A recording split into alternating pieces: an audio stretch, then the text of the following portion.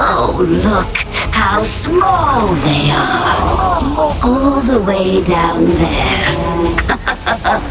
so cute and minuscule.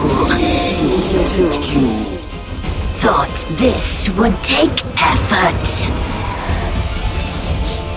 Is that what has my darlings all riled up? A few fleas got into my nest.